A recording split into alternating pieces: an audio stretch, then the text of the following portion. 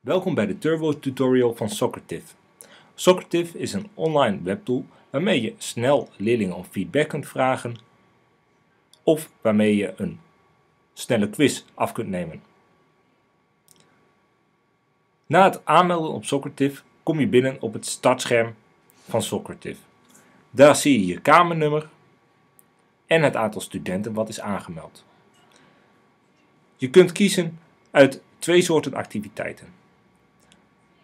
Een single question activity betekent dat je één vraag stelt. Dat kan een meerkeuzevraag zijn, een waar-niet-waar vraag zijn of een vraag met een kort antwoord. De antwoorden van de eerste twee komen direct op het scherm en bij de laatste krijg je zien hoeveel mensen hebben geantwoord. Je kunt ook kiezen voor een quiz.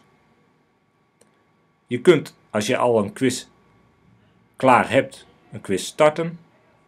Een exit ticket kun je aan het eind nog even een paar vragen stellen om te kijken of de leerlingen de stof begrepen hebben.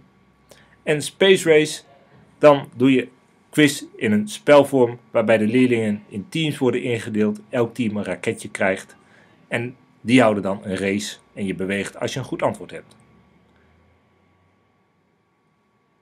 Daaronder staat Manage Quizzes, bedoeld om je quizzen te maken, te bewerken of te verwijderen.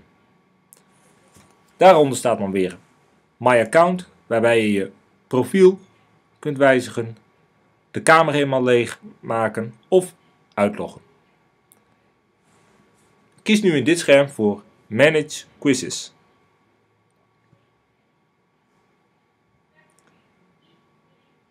Je hebt nu een aantal opties. Je kunt zelf een quiz maken. Je kunt er van iemand anders eentje importeren.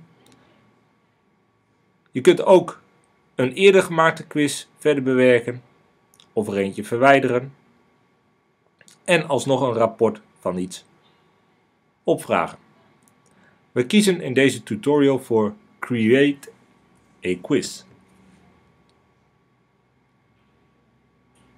Je geeft als eerste de naam van de quiz op. In dit geval test. Vervolgens kun je kiezen welk type vraag jij wilt toevoegen. Een meerkeuzevraag of een open vraag met een kort antwoord. We kiezen voor multiple choice. Er verschijnt nu een extra veld met de titel Question 1. De vraag voeren we in.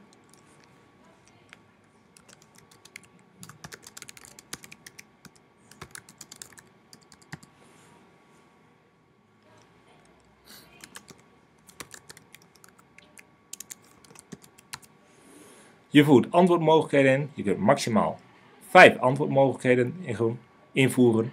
Zet een kruisje voor het correcte antwoord. En je kunt ook nog een uitleg erbij invoeren.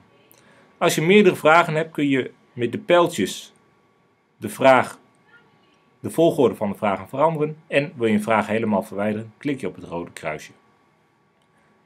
Je hebt nu je eerste vraag gemaakt en kunt dus in principe je quiz al draaien. De quiz bestaat dan uit één vraag. Wil je meer vragen toevoegen, kies dan weer voor multiple choice of voor short answer. Ben je klaar met je quiz? Kies dan voor Save. Krijgt nu een melding dat je een quiz hebt gemaakt. Kies nu voor Continue.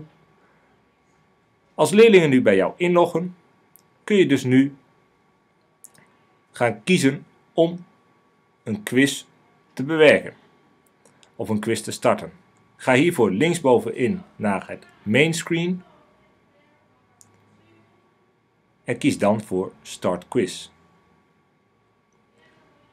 Je ziet nu in deze balk je toets staan. Als je op de bal klikt krijg je al je gemaakte quizzes te zien. Selecteer degene die je wilt hebben. Je kunt nog kiezen of leerlingen het tempo mogen bepalen, dus als ze een vraag hebben beantwoord naar de volgende gaan, of dat je dat als docent wil bepalen. En je hebt nog wat geavanceerde opties. Als dat klaar is,